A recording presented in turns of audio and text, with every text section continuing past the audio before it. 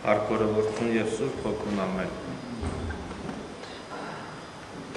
Կարդանք Լուկասի ավետարանից 10-րդ գլխից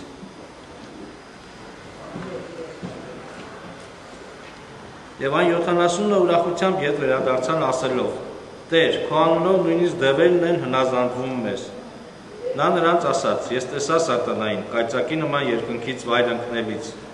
Ահա ես ձեզ իշխանություն եմ տալիս օծերի ու կարիճների վրա կողկրտելու, ինչպես նաև թշնամու բոլոր զորության վրա, եւ ոչ մի բան չպետք է ձեզ վնասի։ Սակայն մի ուրախացեք նրանով, որ ոգիները ձեզ հնազանդվում են, այլ ուրախացեք, որ ձեր անունները գրված են երկնքում։ Եթե հիշում եք Աստծո խոսքից Հիսուս Քրիստոսը իր աշակերտներին ուղարկել էր երկու-երկու ուղարկել էր Իսրայելի տարբեր քաղաքները, որպեսզի ավետարանը քարոզեն եւ իշխանություն էր տվել, հատուկ իշխանություն էր տվել իրենց, որ հրաշքներ կատարեն, դևեր հանեն, մարդկանց բժշկեն եւ այլն։ Եվ երբ որ վերադարձան պատմեցին Հիսուսին եւ եւ զարմացած, այսպես ասում են, ինտերքոանով նույնիսկ դևերն հնազանդվում մեզ։ Եվ նրանց ասաց.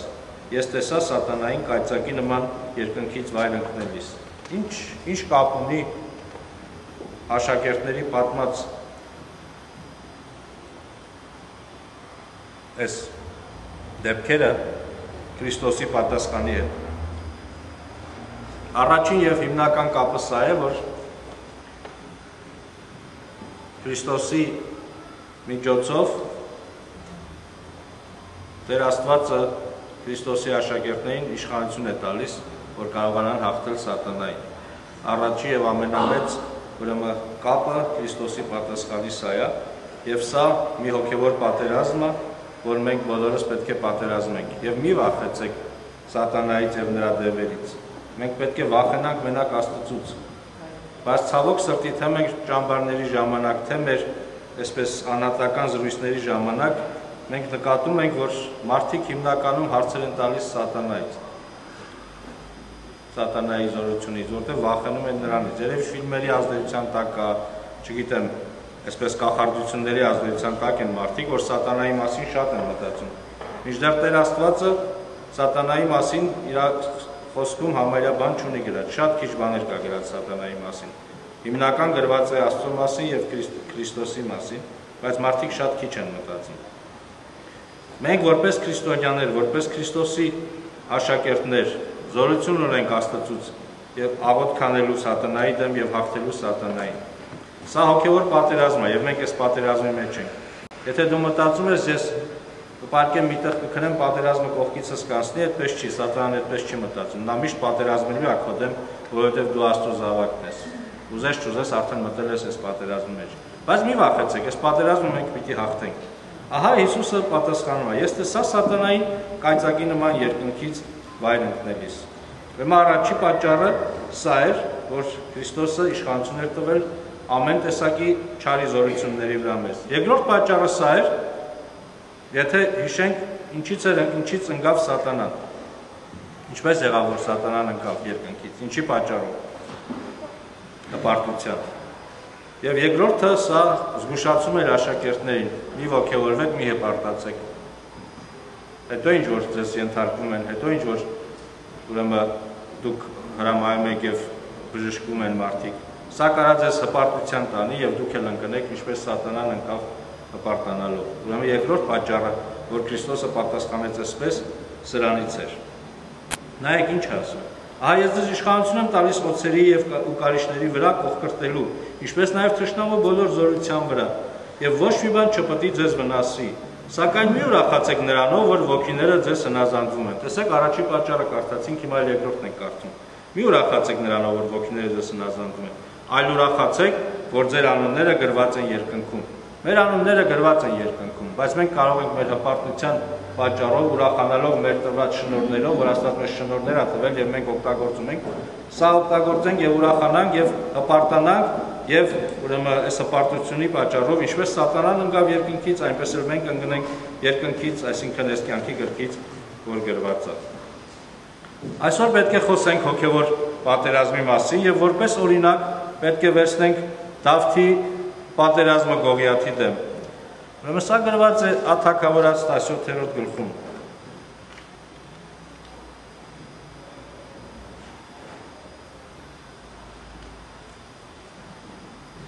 Երբ որ Իսրայելի զորքը այսինքն Աստծո ժողովուրդը դուրս էր եկել հղշտացիների դեմ, որոնք հեթանոսներ էին եւ դուրս էին եկել Աստծո ժողովրդի դեմ էս հեթանոսները, այնտեղ մի հզոր մարդ կար, մի հսկա կար, որի անունը Գողիաթ էր, բոլոր երեխաները այս պատմությունը շատ են սիրում, որովհետև մենք էլ ենք սիրում, որովհետև Դավիթը մտավ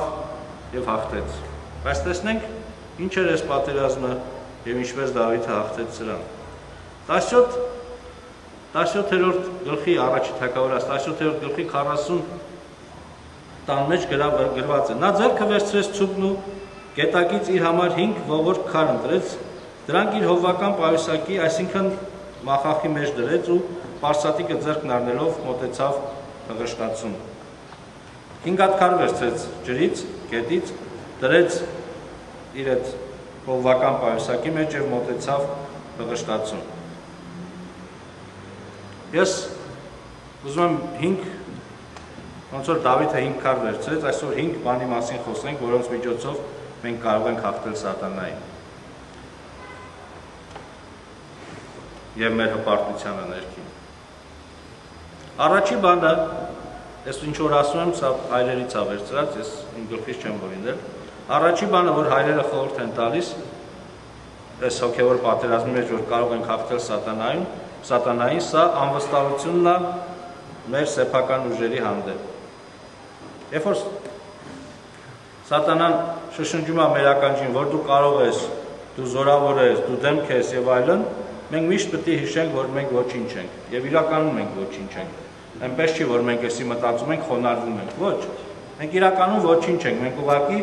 այսպես ռեալիստ ենք, իրատես ենք, հա, երբ որ մենք մտածում ենք, որ մենք ոչինչ ենք։ Բայց երբ որ մենք ես դու մտածում ես, որ դու ինչ-որ մի բան ես,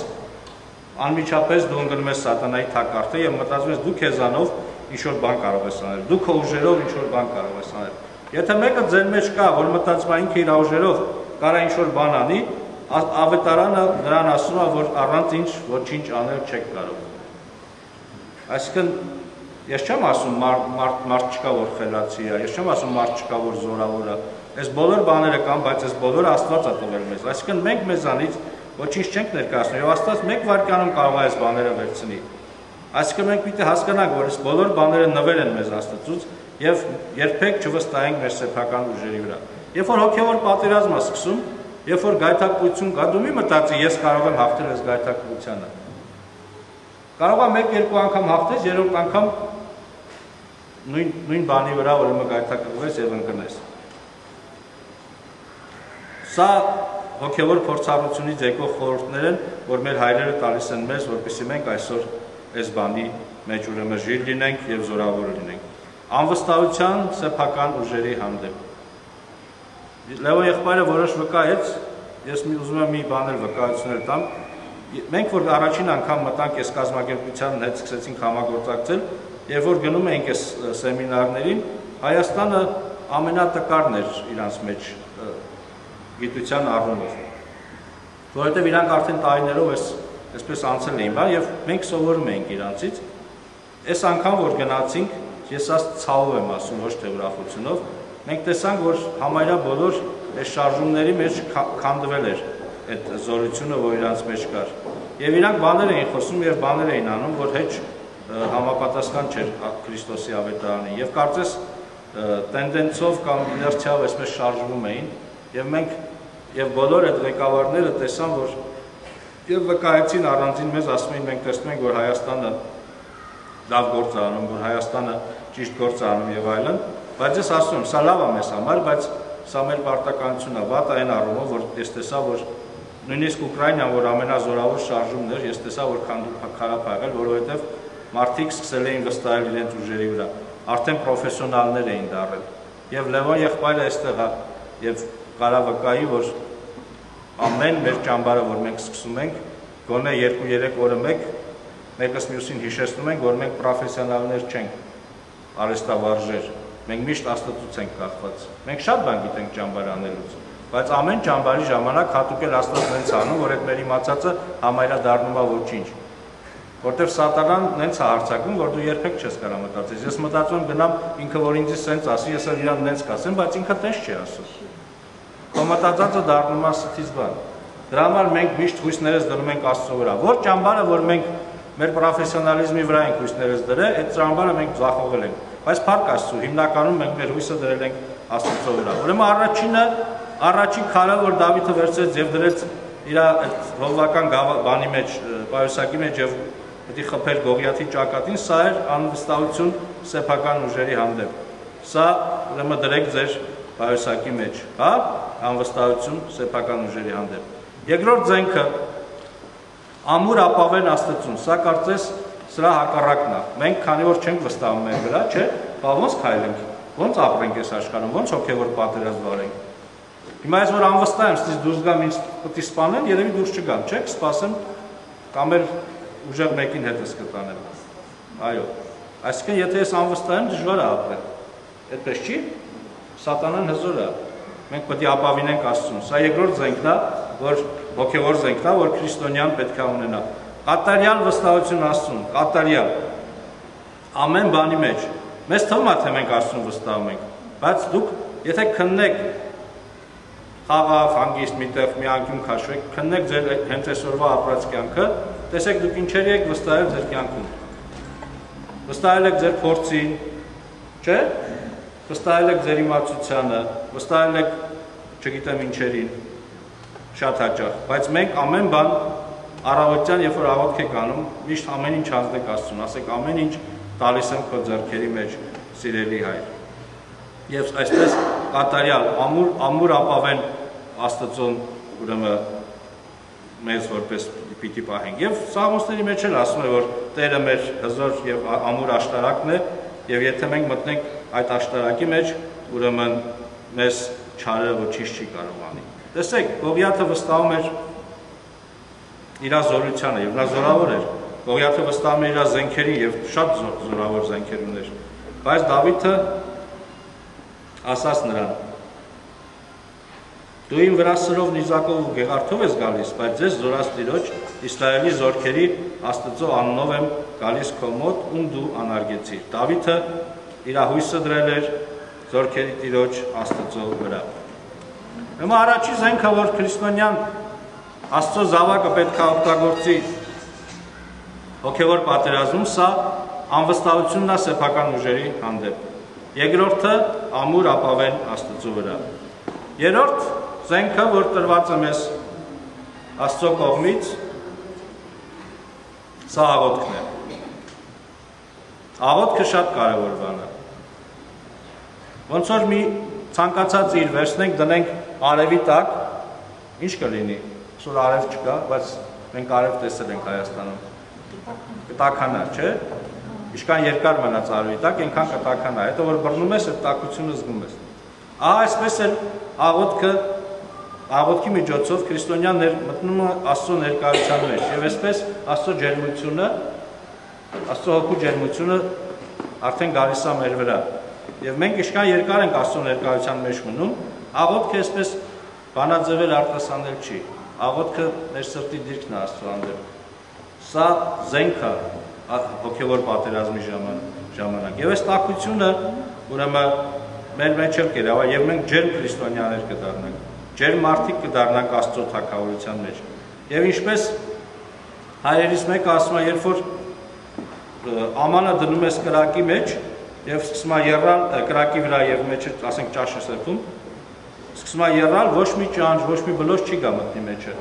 Քանի երրում է, քանի տակա, չէ՞։ Այսպես էլ եթե իսկ որ սառեց, հնարավոր է շատ տարբեր տեսակի միջատներ եւ այլն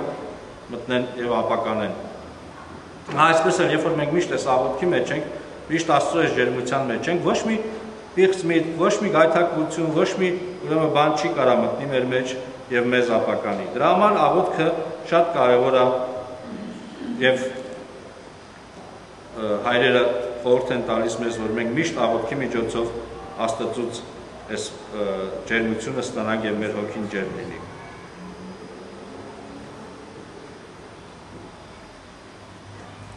Եվ չորրորդ զենքը, որի մասին ուզում եմ խոսել, սա առաքինությունների վարժությունն է։ Մենք առաքինություններ ունենք, թե բնական աստծուց տրված, թե դարձի գալուց հետո աստծուց տրված։ Մենք այս առաքինությունները պետք է զարգացնենք։ Օրինակ սպորտսմենը, որ պարապում է, չէ, իր ամականներն է զարգացնում եւ այլն, մենք գիտենք, որ կամ երաժիշտը կամ ցանկացած մի խոհարարը ինչ մասնագիտություն ուզում ես ունեցի, երբ որ չես պարապում, չես զարգացնում, դու մնում ես նույն մակարդակի վրա եւ հետո իմացածդ էլ մոռանում ես։ Այսպես է բոլոր մասնագիտությունների մեջ։ Բայց երբ որ անդադ պարապում ես, անդադ զարգացնում ես, քո ունակությունները ուրեմն զարգանում են։ Մենք առաքինություններ ունենք եւ պետքա մեր առաքինությունները զարգացնենք։ Ինչպես պետքա զարգացնենք մեր առաքինությունները։ Մի երկու օրինակ կբերեմ, པարզ կլինի։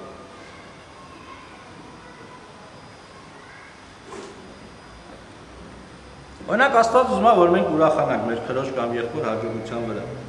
Աստված ուզում է, մենք էլ ենք ուզում, բայց մեր մեջի նախանձը ցույց չի տալիս, որ ուրախանանք։ Հենց եմ ուզում ուրախանալ, որ Մարիամը լավ է ապարում, բայց ես նախանձում եմ, ասում եմ աղջիկ այդքան լավ չի ապարում, նախանձում եմ եւ չեմ ուրախանում։ Ոնց պետք է ես զարգացնեմ։ Ես պետք է սկսեմ ուրախանալ Մարիամի հաջողության վրա։ Իսկականից պետք է զարգացնեմ ես, ուրախանալ։ Կամած-կամած, այսպես կամարակ-արակ ու մոտ ոնց կստացվի ուրախանալ։ Մի օր կտեսնենք եւ պահեմ ինձ այնպես, կարծես թե իրոք ուրախ եմ։ Սա ձևական չի, սա զարգացում է, ուրեմն մենք պետք է զարգացնենք։ Եվ այսպես կտեսնենք, որ մեր նախանձը կամած-կամած կվերանա եւ մեր այսպես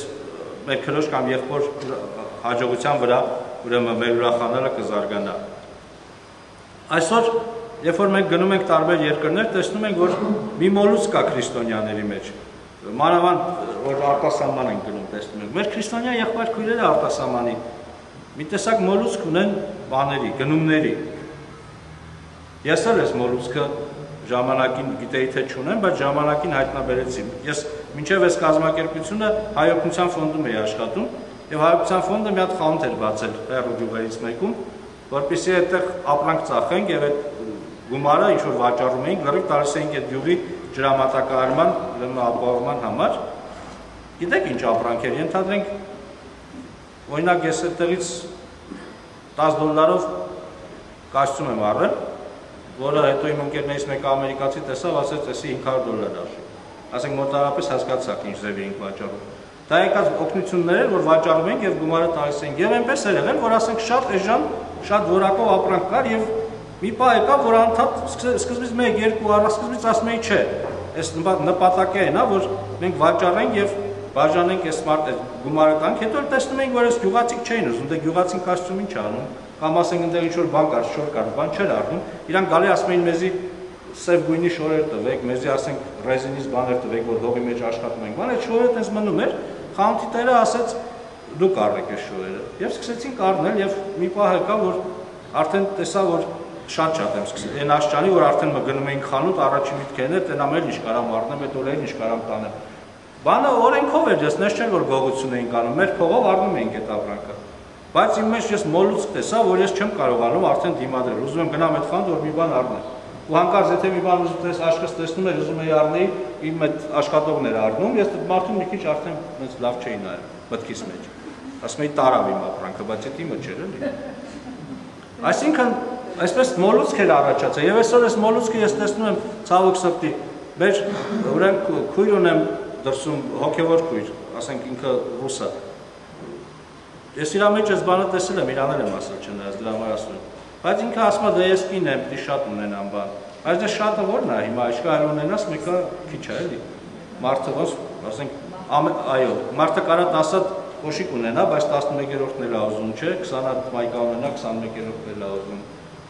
Աստված տա բոլորս միլիոնատ ունենանք, հարցեսի չի, հարցը մեր մեջի մոլուսկի հաղթահարելն է, որ մենք կարող ենք զարգացնել։ Ոնց կարող ենք զարգացնել։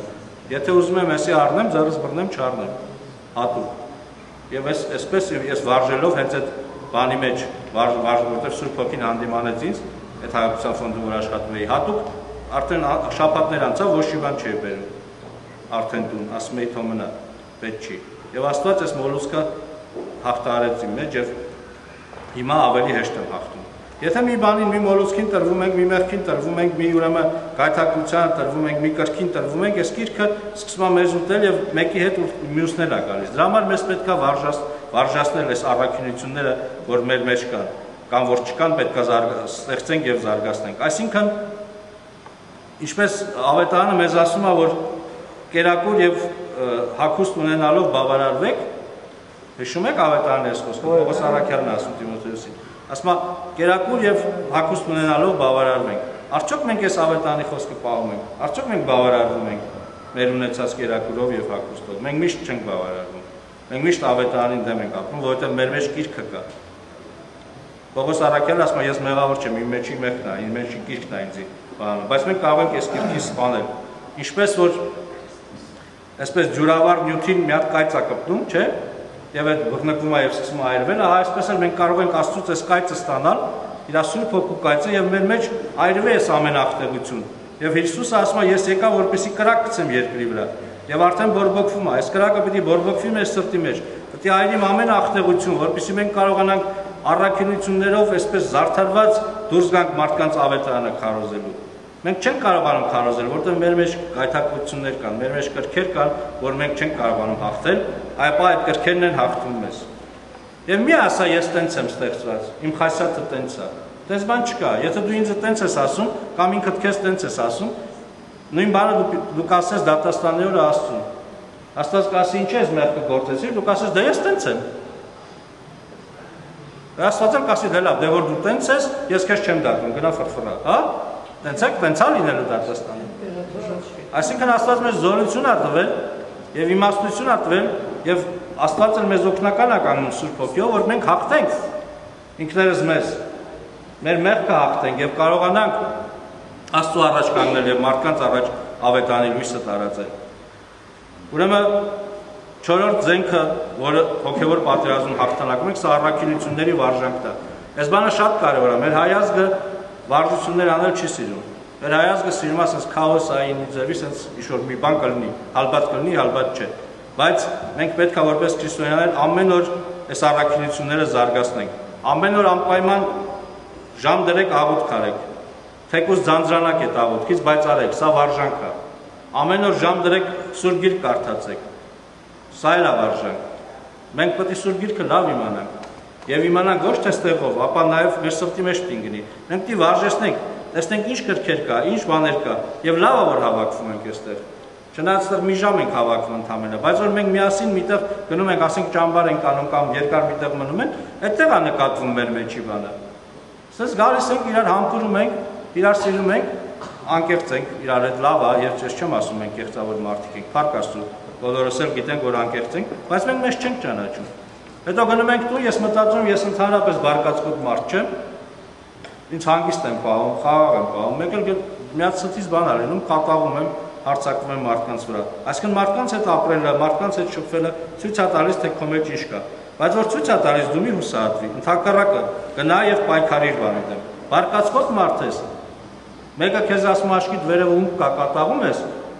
Պարապի, որ ասի աշկիտ վերևում կա, մտքումդ ասես ոչ մի հատ ունք կա, հələ մի բան էլ ուրիշ երկրորդ ունքն էլ կա, հա, ենթադրենք։ Այսինքն հա, քեզ պարապացրու, քեզ վարժեցրու, որպեսզի կարողանաս հաղթել սատանային։ Ուրեմն առաջի զենքը անվստահություն սեփական ուժերի հանդեպ։ Երկրորդ զենքը ամուր ապավեն Աստծուն։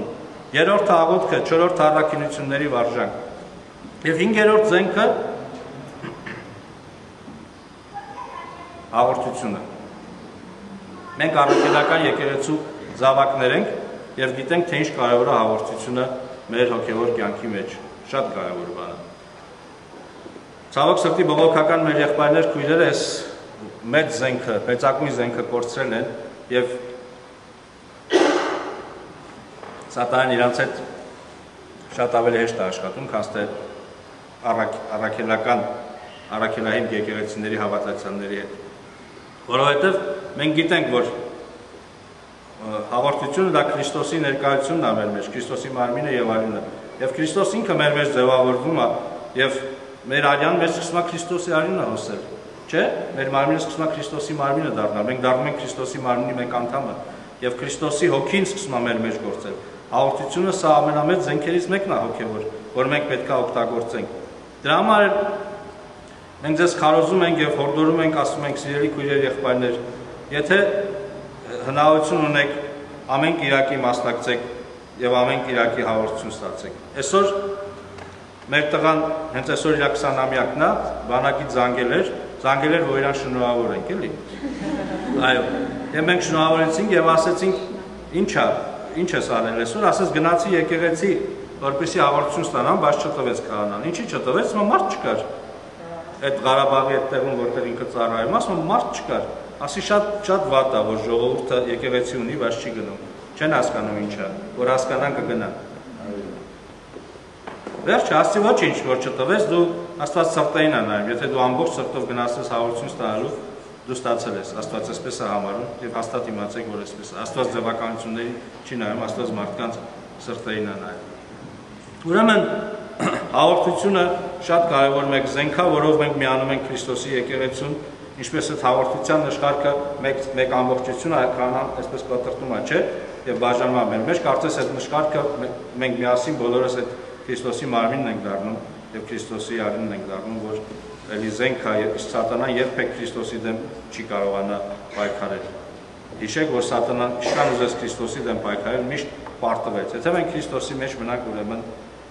մենք կհաղթենք սատանային։ Նա ձեռքը վերցրեց ցուրտում գետակից իր համար 5 ողորկ քար ընտրեց։ Դրանք իր հողական պայուսակի, այսինքն մախախի մեջ դրեց ու Բարսատիկը ձեռքն առնելով մոտեցավ փղշտացուն։ Այս 5 քարից ինչ որ մեկը մի հատ քարով ինքը խփեց եւ Գողիաթի ճակատի մեջտեղը խցկվեց այս քարը եւ Գողիաթը ընկավ Քիտուբերանի վրա ընկավ հողին։ Մենք չգիտենք, որ պահին որ զենքը մենք օգտագործենք սատանայի դեմ։ Մենք այս զենքերը պետք է ունենանք, այս քարերը այսպես ասած, չէ՞։ Բայց մի մի մի ժամանակ մի պահ կգա որ աղոթքը կհաղթի,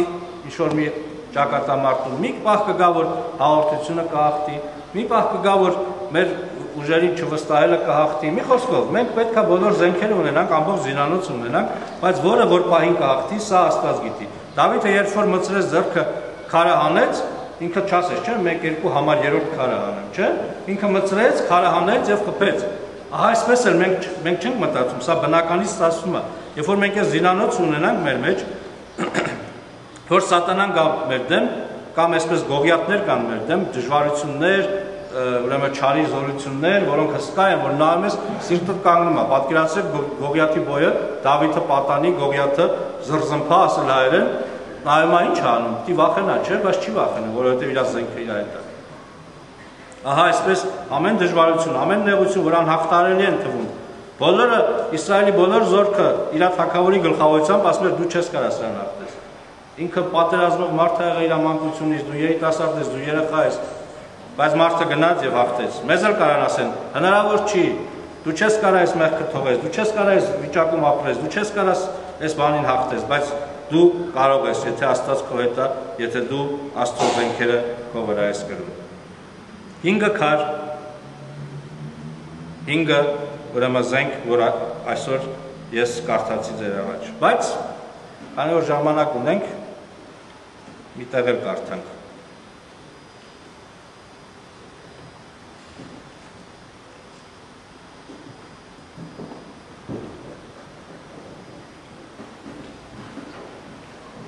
Եփեսացիների 6-րդ գլուխը։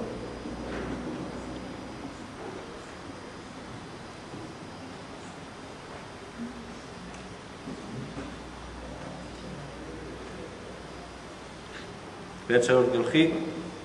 մեջ Պողոս Արաքյալը զենքեր աթվում, որով կարող են հաղթել հոգևոր պատերազմում։ Վերջապես եղբայրներս, ուժեղ եղեք Տիրոջով, եւ նրա զորության կարողությամբ։ Ձեր վրա հագեք Աստծո սպառազինությունը, որ կարողանաք ընդդիմանալ սատանայի հնարքներին։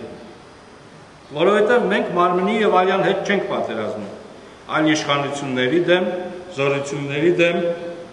այս աշխարհի խավարի իշխանների եւ բարձր տեղերում եղող հոգեվոր չարության դեմ։ Դրա համար սպառազինվեցեք Աստծո ամբողջ սպառազինությամբ, որպեսի չար օրում կարողանաք դիմադրել եւ այս ամենը կատարելուց հետո կանգնել։ Ոստի կանգնեցեք ձեր մեջքերը ճշմարտությամբ գոտե պնդելով